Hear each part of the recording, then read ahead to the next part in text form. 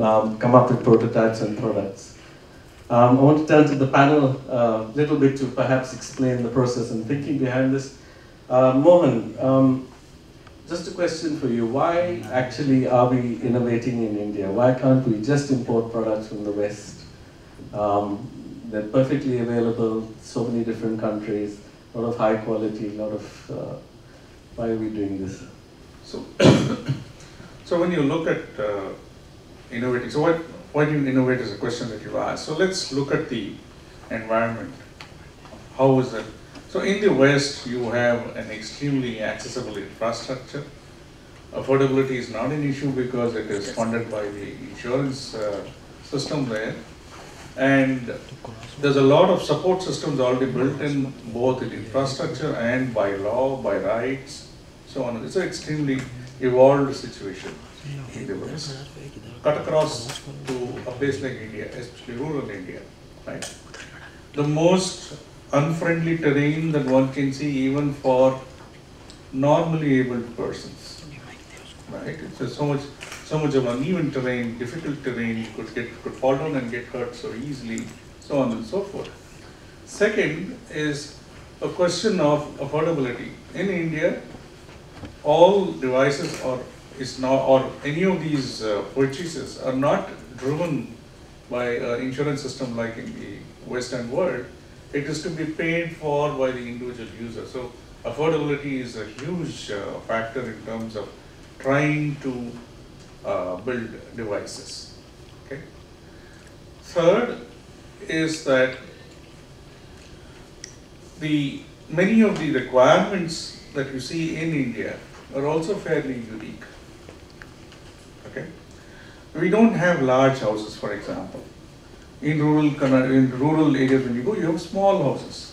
So the kind of devices that are built abroad are built for diff completely different contexts as compared to what is required in India right? And also from a requirement perspective, in, uh, in the Western world, the products are built to be catering to a lot of uh, avoidance of liability, right? So a wheelchair is made to take a 400 pound person, for example, right? So they're all ex excessively over-engineered for different reasons, right? Is that required? That all that adds to cost you have uh, support costs. Okay. In India, support and distribution is a huge challenge. So how do you innovate and build products that will enable easy distribution and easy, easy servicing is a very important criteria for us to bear in mind. And it is for that reason that you cannot really, you take any device that you get from the US. Okay. I was, uh, I came in this wheelchair in the Bombay airport it was very nice till you cross the curb and you go into the parking lot. Okay? This is a wheelchair that is used internationally. Built for India also, but built for urban cities, urban roads. Even in the parking lot, there was not enough clearance on this particular wheelchair, given the potholes in the parking lot. And if this is the case in Bombay, in an airport, what will happen in rural India? So, Sabriye, I wonder if I can turn to you. So you, you're you're not from India originally. You're from Germany, uh, but you've actually had um, some time living in rural India. I'm just sort of wondering, you know, what are your insights from that experience? Um, is there something unique about India? Is there something special about how disability is perceived? So first of all, um, I must say I, I lived in Tibet before, and, um, and I thought um, blind people in rural Tibet must be pretty much like blind people in rural India. Now, um, what I didn't figure out was uh, that, of course, these blind people that I knew, they went through our center in Tibet and were very, very confident, also with their canes, um, uh, walking around. Now, I came then to rural India, or to India, and I must say I didn't uh, see a big difference between rural India and urban India in terms of blind people. Uh, let me give you one example. Um, I, met, um, I met someone from the rural part of India who, um, who explained to me the educational system and how grateful he was that he didn't have to have math in the, um, in the upper standards anymore because he's blind. So he didn't have to go to math training.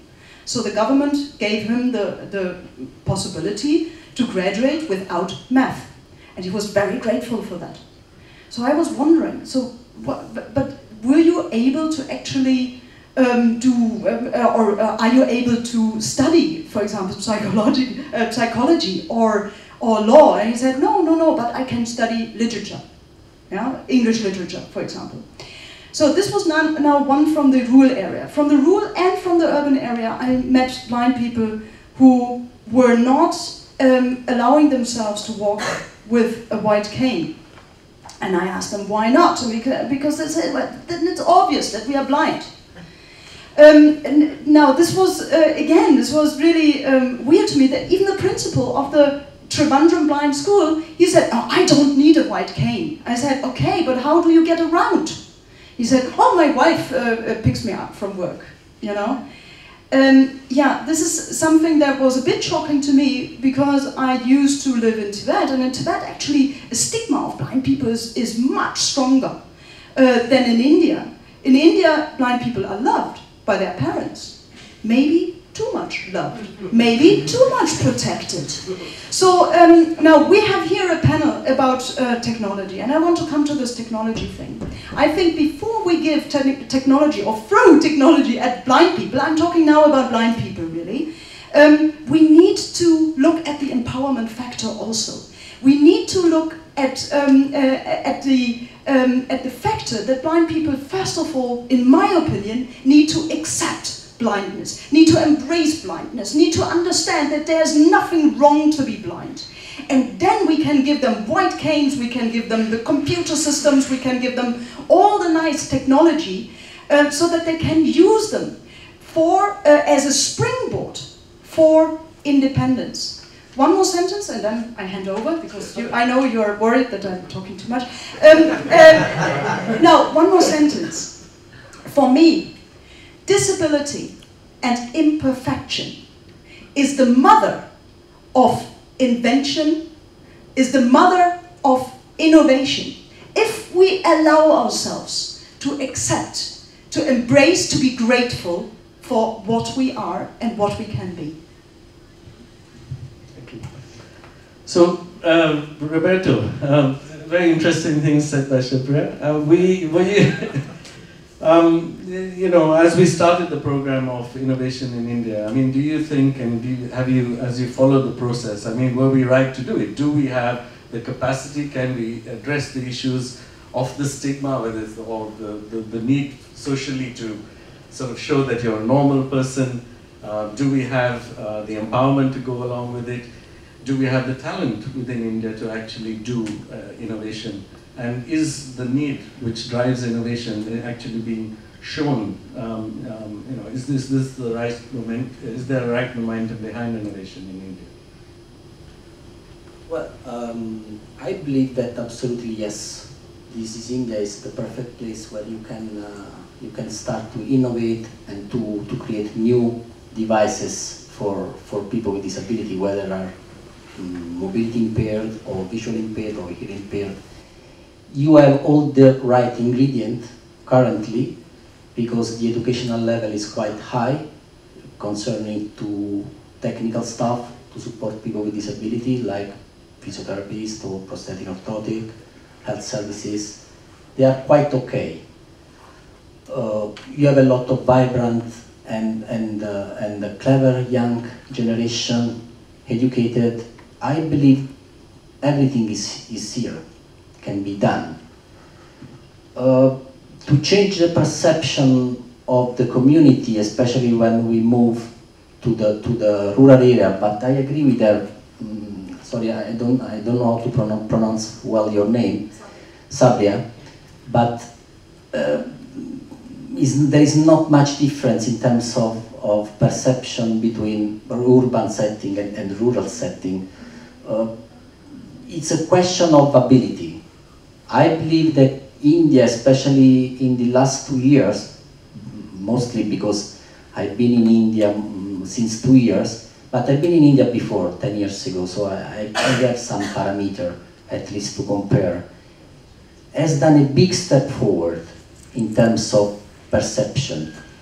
Even at government level, there is a turning of the concept of people with disability, not seen anymore as under the charitable model, uh, even not under the social model, but they are really doing in the last two years a step forward to see more people with disability as a resource, so as a potential.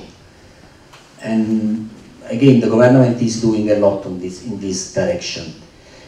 Uh, yes, is needed. Is needed. What is lacking is a strategy. Is a strategy how to bring those products, those innovative products, next to the people, and to service this product to the people. Because one of the challenges that most of the innovation and technological, technological innovation is done in a standard way, why we are, while we are talking about people that need customized intervention. And in order to perform a customized intervention, we need to have services run by professionals or social entrepreneurs together to serve these people in a correct way. Is not reaching the people, or how you call it in your cycle, the distribution, the reaching the device to the people, the ending point, but this the starting point. To make them better able and then to start to work around also the other needs. Okay. Because being human needs, they are multi, multi-dimensional and multi-needs. I'm talking about education, livelihood, access to work, and so on. So can I press you a little bit? Uh, we did the Enable Makeathon. Did we come up with some some good devices, some things that of course need the kind of service and support that required?